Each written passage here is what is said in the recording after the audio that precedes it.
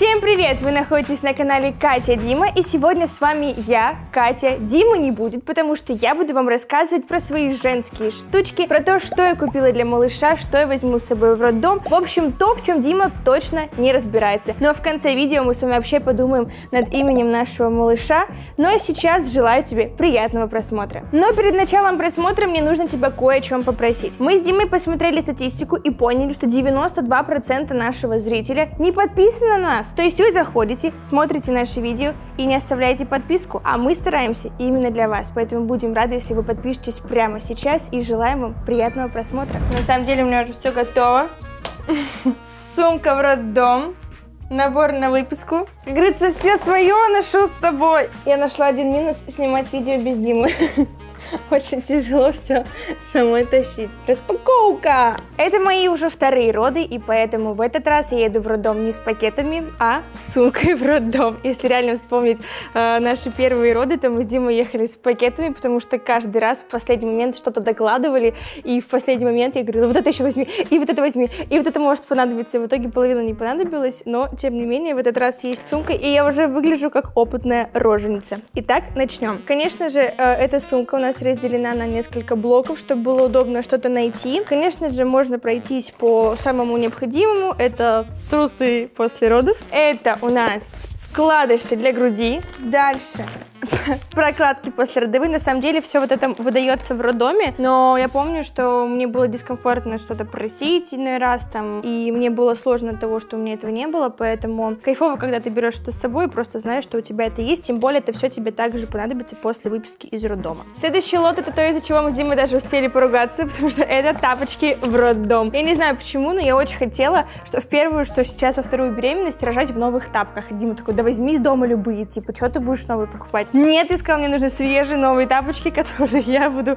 рожать, поэтому вот они ждут своего часа. Так как у меня, возможно, будет кесарево, а это операция, то обязательно компрессионные чулки, которые будут у меня в сумочке. И все для малыша. Это подгузники, влажные салфетки, конечно же смесь, потому что я хочу, чтобы если мы и начали прикорм, то с той смеси, которой я хочу кормить ребенка, а не так, что в роддоме дали одно, а потом мы переводим на другую. Ну и, соответственно, бутылочки, сосочки, в общем, все то, что может пригодиться в первые дни жизни малыша. И самое основное, что облегчило мой выбор и мою жизнь при сборе сумки в роддом, это набор нашей косметики Aurora Cosmetics. Почему облегчило? Потому что я точно знаю, что мне понадобится в роддом доме. Это наш крем под подгузник, наш увлажняющий крем защитный для тела и гель для душа, шампунь 2 в 1 для подмывания и, собственно, первого душа малыша. Это наборчик, который подойдет малышу с первых дней жизни. Ссылочку на него мы оставляем внизу в описании, поэтому заказывайте. И, кстати,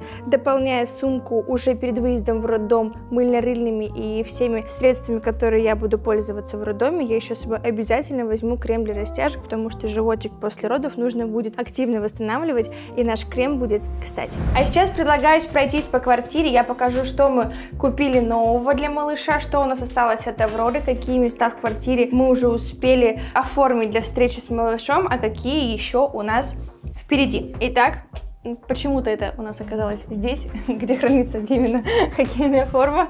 Но это понадобится в ванной, когда малыш уже родится. Это вот такая ванночка. Не знаю, в этот раз я решила купить а, просто вот такую штуку, потому что у нас есть полноценная ванна. Я не стала покупать ванночку. Купила вот такую вот подставочку, чтобы купать пупсика.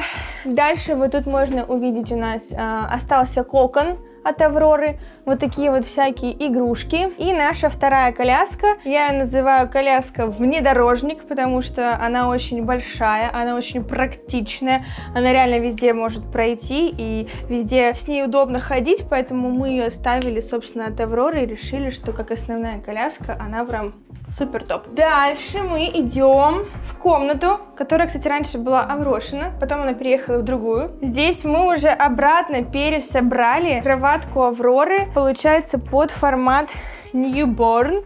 То есть она раскладывается еще э, дальше. Здесь у нас Авроша приучалась спать отдельно. Сейчас, когда у Авроши уже своя полноценная кроватка, как для настоящего э, человека-подростка, э, мы пересобрали кроватку, положили сюда кокон. Мы прекрасно понимаем, что первые месяца, когда ребеночек еще не переворачивается, он, скорее всего, будет спать в коконе, даже в кроватке, потому что это удобно. Но, опять же, будем смотреть по ситуации. Эта кроватка, скорее всего, переедет в нашу комнату Димой, чтобы стоять у кровати, где будем спать мы. Но пока она ждет своего часа именно здесь. Следующий наш обзор на конверт для выписки. На самом деле, сначала я думала, что выписываться в зимнее, в холодное время года очень тяжело, потому что это хочется, чтобы было и красиво, и эстетично, и при этом практично, и тепло. И поначалу я думала, что не найду то, что хочу. Но я была не права.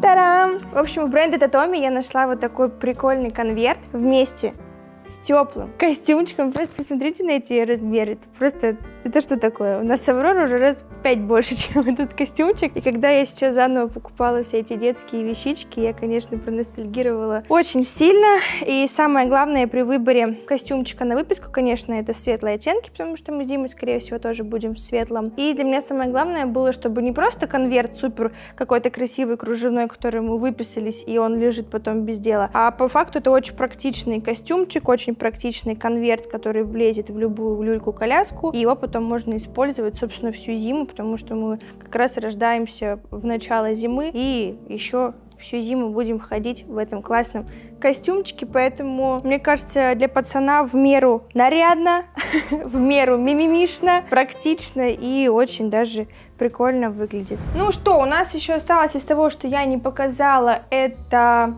бутылочки. В роддоме в этот раз тоже поеду со своей уже бутылочкой, чтобы не было вот этих вот постоянных смен на случай, если э, будет смешанное вскармливание с рождения. Ну и, конечно же, всякие мелочи все равно остались от Аврошки. Это триммер для ногтей, это всякая бытовая мелочушка, конечно же, что-то я покупала новое, это стерилизатор для бутылочек, сами бутылочки, соски, в общем, все эти бытовые мелочи. Ну а прямо сейчас мне уже не терпится распаковать нашу новую коляску. Этого момента я ждала, наверное, больше всего, потому что это коляска пришла несколько недель назад, но ради этого видео я оставила ее на распаковку именно сейчас. Для тех, кто не знает, это Дуна, которая успела, наверное, зарекомендовать себя в мире колясок как самая крутая коляска, которая э, используется как автокресло. Это действительно удобно, когда у тебя есть и своя машина, и ты часто передвигаешься на такси. У нас самый новый аппарат для нашего мужика. Вот так вот коляска выглядит, собственно, в собранном виде. Она достаточно не тяжелая. Короче, для тех, у кого была Дуна, и для тех, кто а, знает, что это такое, здесь основной одно ее отличие от э, первой Дуны, что у нее есть три положения. Теперь она не в одном положении, где ребенок как бы непонятно, то ли сидит, то ли лежит, а теперь здесь есть положение э, сидит, как-то называется релакс, отдыхает и спит. Поэтому э, это тоже очень круто. Этот момент они проработали. Это я уже знаю... Это, наверное, курьер. Собаки уже встречают.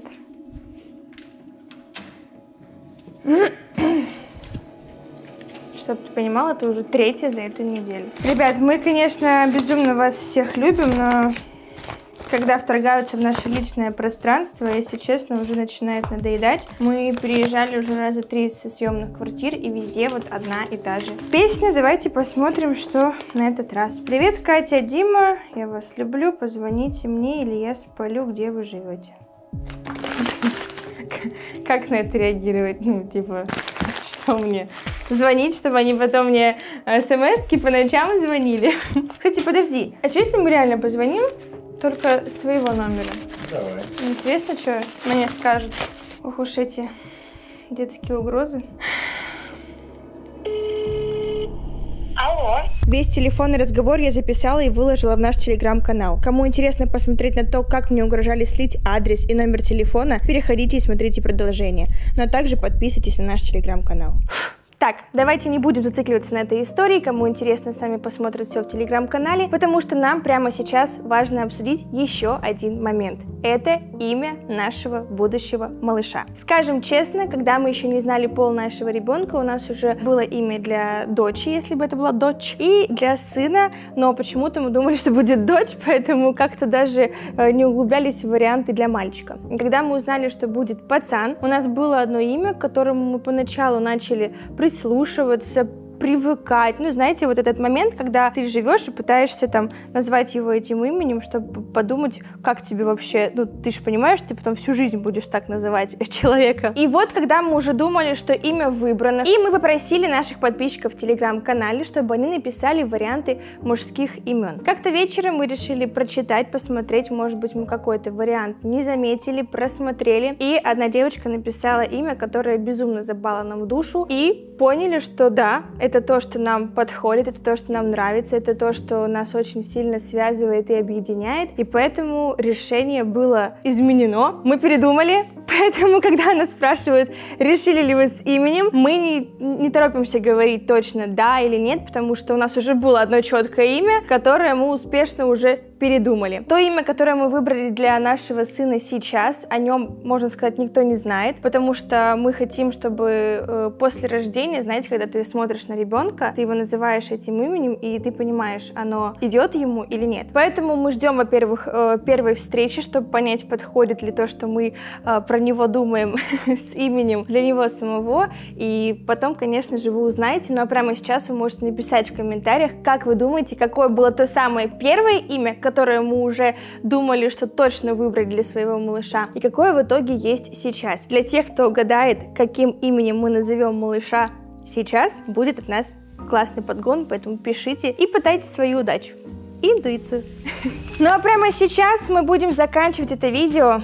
На самом деле как-то грустно понимать, что это последнее видео на канале, где я буду с животиком, потому что после этого видео я уже, наверное, спустя несколько недель поеду точно уже рожать. Ну а дальше вы все и так узнаете. Спасибо большое, что досмотрели это видео до конца. Спасибо, что были со мной. Если честно, немного непривычно снимать видео без Димы. Я надеюсь, что вам было со мной интересно, поэтому обязательно напишите про это в комментариях. Хоть я и заикаюсь, что я такая опытная мамаша и второй раз иду рожать, но я понимаю, что я еще очень многого не знаю, поэтому более опытные мамочки, я также жду вас в комментариях. Пишите по своему опыту, что я купила лишнего, что я, может быть, забыла. Я успею прочитать и докупить до родов. Поэтому спасибо, что были со мной. Ставьте ваши сердечки, подписывайтесь на канал и, конечно же, ждите видосов с родов, с выписки. В общем, контента будет очень много крутого, классного для вас.